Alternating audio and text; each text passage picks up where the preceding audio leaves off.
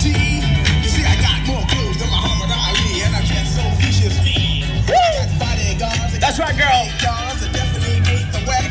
I got a Lincoln Continental, man, or some new Cadillac.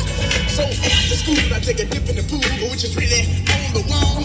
I got a color TV so I can see the Knicks play basketball. Hear me talking about checkbook, it costs more money than a sucker could ever spend. But